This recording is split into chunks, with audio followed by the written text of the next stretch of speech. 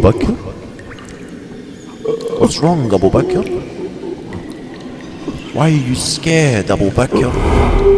Aren't you a Muslim? Aren't you a mu'min? Abu Bakr.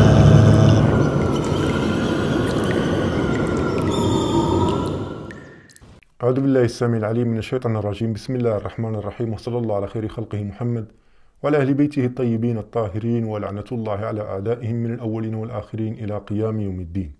السلام عليكم مشاهدينا الكرام ومرحبا بكم. قبل أن أبدأ أريد منكم إخوتي أن تشاهدوا كل الحلقات من أول حلقة إلى آخر حلقة ثم احكموا بما شئتم. وأيضا أي شخص يفكر في الرد على هذه الحلقات عليه أن يرد على كل كلمة قلتها وعلى كل دليل أتيت به. ولا يقتطع. فأي شخص يقتطع من كلامي ويرد على شيء معين اعلموا أنه أفلس في الرد على كل أدلتي لأن كلامي كله مرتبط ببعضه وفي موضوع واحد وهو آية الغار. كما تعلمون أن أهل السقيفة أنتجوا واخترعوا فضائل لأبي بكر وعمر كذبا وبهتانا وفي بعض الأحيان يسرقون فضائل قيلت في أهل البيت عليهم السلام ويجعلونها في أبي بكر وعمر. مثال الحسن والحسين سيدا شباب أهل الجنة. جعلوها أبو بكر وعمر سيدا كهول أهل الجنة. يعني حتى حين يخترعون كذبة لا يحسنونها إلى ما شاء الله من الفضائل المكذوبة. ومن ضمن تلك الفضائل فضيلة وجود أبي بكر مع النبي في الغار. منذ الصغر ونحن نسمع أن من أعظم فضائل أبو بكر أنه كان صاحب النبي في الغار. ثاني اثنين قال الله فيه بأنه صاحبه إذ يقول لصاحبه هذه منقبة عظيمة. وبعد البحث تجد عكس ذلك وتكتشف أن هذه ليست فضيلة بل فضيحة لأبي بكر.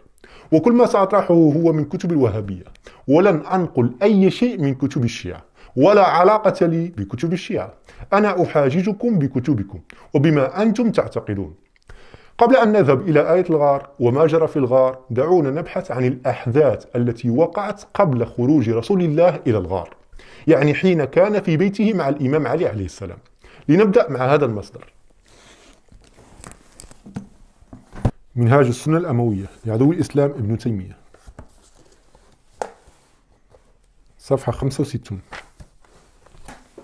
قال فأتى جبرائيل النبي صلى الله عليه وآله فقال له لا تبت هذه الليلة على فراشك الذي كنت تبيت عليه. قال فلما كانت عتمة الليل اجتمعوا على بابه يرصدونه متى ينام فيثبتون عليه. فلما رأى رسول الله صلى الله عليه وآله مقامهم قال لعلي نم على فراشي واتشح ببرد هذا الخضرمي الأخضر فنم فيه. هنا رسول الله أمر الإمام علي عليه السلام أن ينام في فراشه. ليوهم الكفار أن رسول الله ما زال نائما وهذه القصة معروفة جدا. نشاهد هذا المقطع.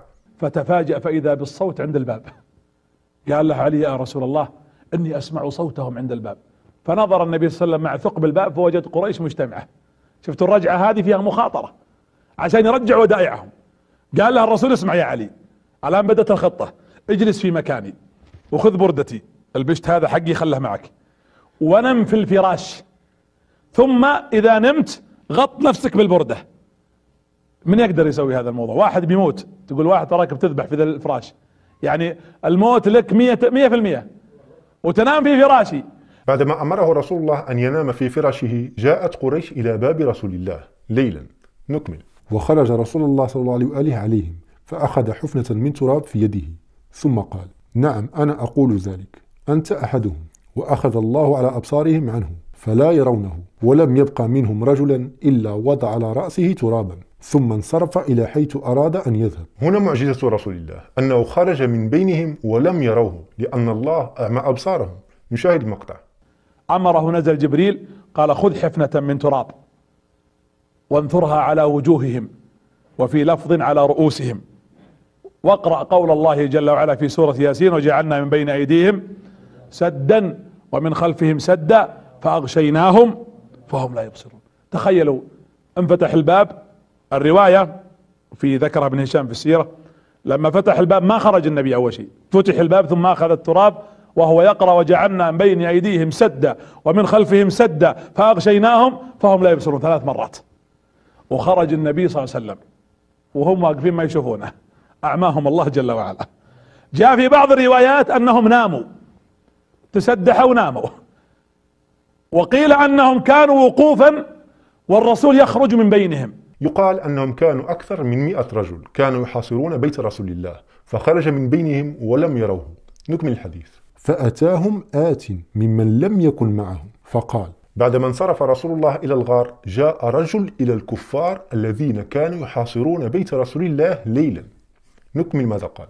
ما تنتظرون هنا؟ قالوا محمدا. قال لهم هذا الرجل ماذا تنتظرون هنا؟ فقالوا له بكل أريحية والثقة ننتظر محمدا. عجيب. على ما يبدو أن هذا الرجل كان محل ثقة عند قريش إذ أنهم أخبروه بما هم عازمون عليه وهو قتل رسول الله وقال لهذا الرجل ننتظر محمدا. يعني لم يخافوا منه أن يفشي سره وهم عازمون على قتل رسول الله. نكمل ما قال لهم هذا الرجل. قال خيبكم الله. قد والله خرج عليكم محمد. ثم ما ترك منكم رجلا إلا وقد وضع على رأسه ترابا. عجيب. هذا الرجل لا فقط أخبرهم عن خروج رسول الله بل أعطاهم دليل على خروجه وهو أنه وضع على رؤوسهم التراب. نكمل. وانطلق لحاجته. أفما ترون ما بكم؟ قال فوضع على كل رجل منهم يده على رأسه فإذا عليه تراب. إذا كلام هذا الرجل صحيح. فالمشركون فعلوا ما قال لهم هذا الرجل فوجدوا التراب فوق رؤوسهم. نكمل. ثم جعلوا يطلعون فيرون عليا على الفراش مسجى ببرد رسول الله صلى الله عليه وآله. عندما رأوا من شقة الباب ظنوا أن رسول الله ما زال نائما في فراشه. نكمل. فيقولون والله إن هذا لمحمد نائما عليه بردة فلم يبرحوا كذلك حتى أصبحوا. فقام علي عن الفراش فقالوا والله لقد كان صدقنا الذي كان حدثنا. لما أصبح الصباح وجدوا علي نائما في فراش النبي فقالوا والله لقد صدقنا الذي كان حدثنا. إذا هذا الرجل الذي حدثهم كان مطلع على ما يجري ويراقب تحركات رسول الله. وهنا السؤال الخطير من هو هذا الرجل الذي تكتموا عن ذكر اسمه؟ كما تعلمون أن هجرة رسول الله كانت تحت سرية شديدة لكي لا يعرف المشركون أين ذهب ولكن هذا الرجل كان يراقب تحركات رسول الله. نشاهد هذا المقطع. طبعا أهل مكة الآن هم جالسين حول البيت عند بيت النبي صلى الله عليه وسلم. الرسول وصل الآن إلى إلى الجبل. وجالسين ينتظرون ليش طول الرجال؟ ما طلع. فقال رجل مر عليهم رجال من قريش. فقال رجل مر عليهم رجال من قريش. قال يا قوم ماذا تنتظرون؟ شو تسوون؟ كان ننتظر محمد. جميل جدا. إذا هذا الرجل رأى رسول الله ماذا يفعل بالمشركين وهو من أخبرهم. إذا من هو هذا الرجل؟ ولماذا لم يذكروا اسمه؟ ولماذا حاولوا التستر عنه؟ نشاهد مقطع آخر.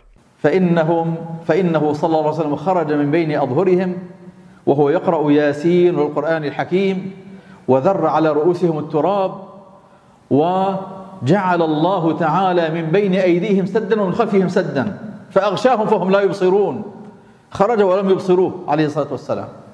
ولما أخبرهم بعض من مر بهم ولما أخبرهم بعض من مر بهم أنه قد خرج ما صدقوا ذلك لأنهم ينظرون من خلل الباب من الشقوق من صير الباب فيرون على السرير رجلا مسجى. فلما قام وإذا هو علي بن أبي طالب رضي الله تعالى عنه لمعرفة من هو أولا يجب علينا أن نعرف من هم هؤلاء الذين كانوا يعلمون بهجرة النبي. نشاهد هذا المصدر. بداية والنهاية لابن كثير. الجزء الثالث. صفحة 145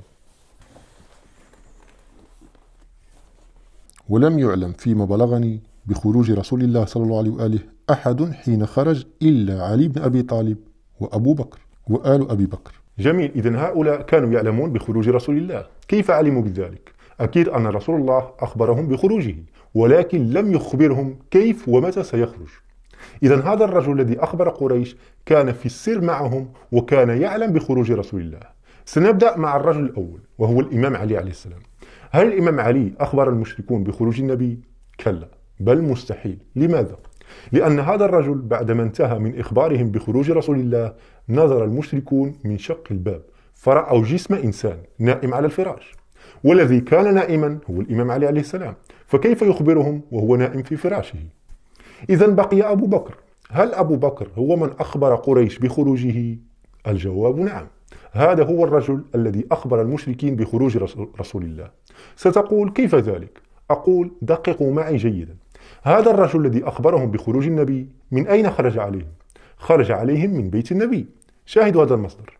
كتاب الثقات لأبي حاتم محمد بن حبان. في الجزء الأول. يقول واجتمع قريش لرسول الله عند باب بيته يرصدونه فخرج رسول الله في يده حفنة من تراب فرماها في وجوههم فأخذ الله بأعينهم عن رسول الله صلى الله عليه وآله فباتوا رأسا على بابه وانطلق رسول الله لحاجته فخرج عليهم من الدار خارج فقال ما لكم؟ قالوا ننتظر محمدا. قال قد خرج عليكم فانصرفوا يائسين ينفض كل واحد منهم التراب عن رأسه كما شاهدتم حاولوا أن يتستروا عن اسم أبي بكر ولم يذكروا اسمه ولكن قالوا بأن هذا الرجل خرج من الدار. أي دار هذه؟ أكيد دار النبي لأن قريش كانت أمام الدار تنتظره لقتله. ولتتضح عندكم الصورة أكثر شاهدوا معي هذا المصدر. البداية والنهاية لابن كثير الجزء الحادي عشر.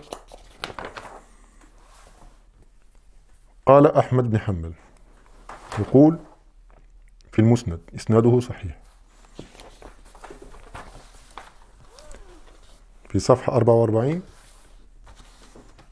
يقول قال وكان المشركون يرمون رسول الله صلى الله عليه وآله فجاء أبو بكر وعلي نائم وأبو بكر يحسب أنه النبي صلى الله عليه وآله فقال يا نبي الله فقال له علي إن نبي الله قد انطلق نحو بئر ميمونة فأدركه نفس هذا الحديث ذكره أحمد بن حنبل وقال المحقق بأنه صحيح. شاهدوا.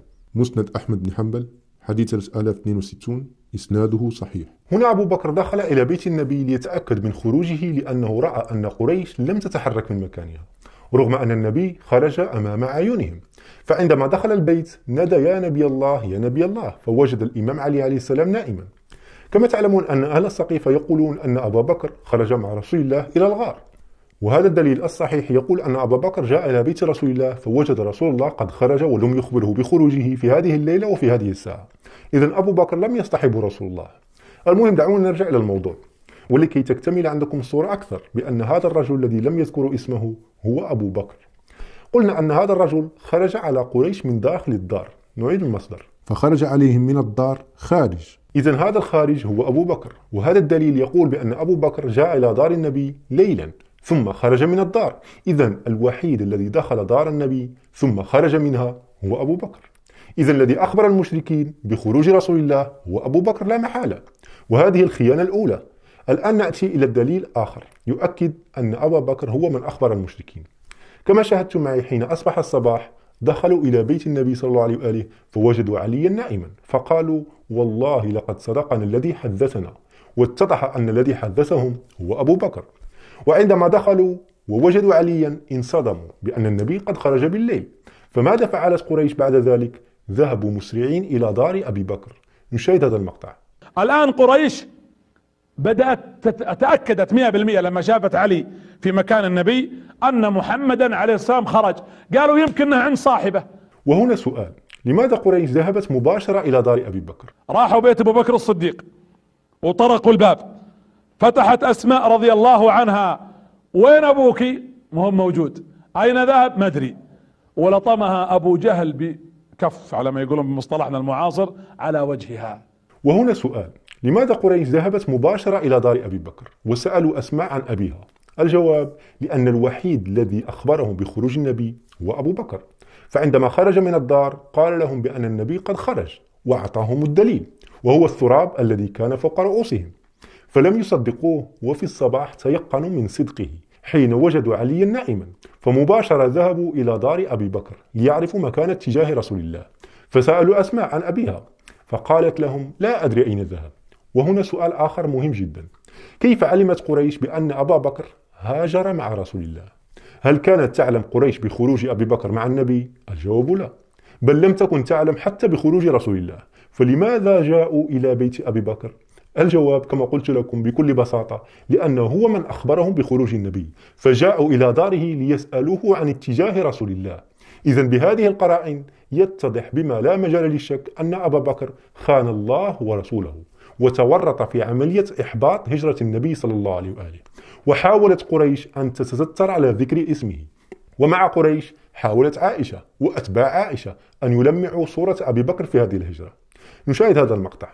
ونزل الوحي في لحظتها. على النبي جبريل يا محمد إن قريش تعد لك كمين وتخطط على قتلك إن الله أذن لك وصاحبك بالهجرة. اطلعوا الآن. جبريل لما نزل على النبي كان النبي في بيته. قال يا محمد اخرج من بيتك الآن. خرج النبي من بيته بعد الظهر في الظهيرة.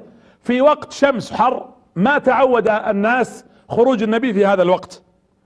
لما خرج النبي صلى الله عليه وسلم في هذا الوقت ذهب إلى أبو بكر الصديق وطق الباب على أبو بكر. وهذا من الكذب والافتراء والتناقض العجيب. تحاول عائشة بهذه القصص أن تتستر على أبيها. يقولون بأن النبي حين خرج من بيته أين ذهب؟ إلى دار أبي بكر. في الظهيرة تحت حر الشمس. أين تذهب يا رسول الله؟ إلى دار أبي بكر. ما شاء الله. يعني جبرائيل يخبر رسول الله بأن قريش تريد أن تقتله ومع هذا يخرج في وقت الظهيرة أمام الكفار. وأين يتجه؟ إلى دار أبي بكر. ما هذا التناقض العجيب؟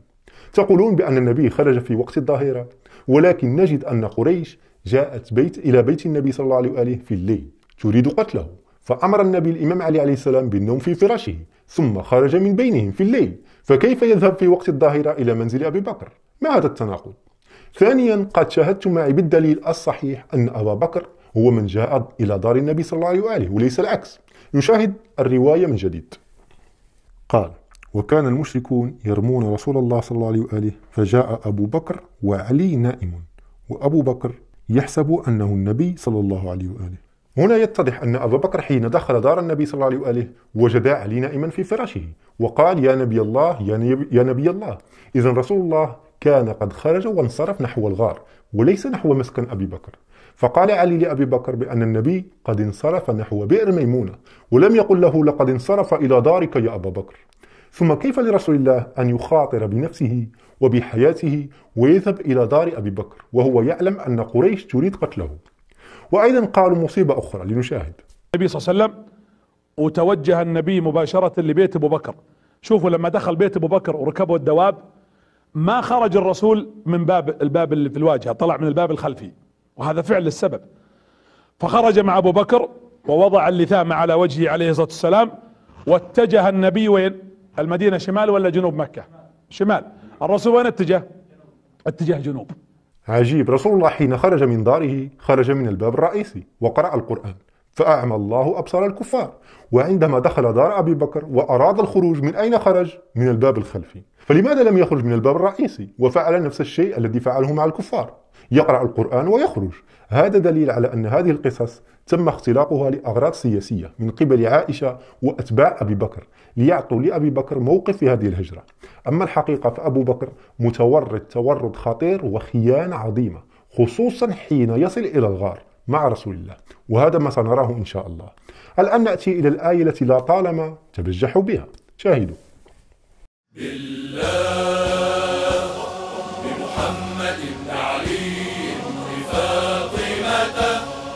بالحسن بالحسين بالأئمة الأطهار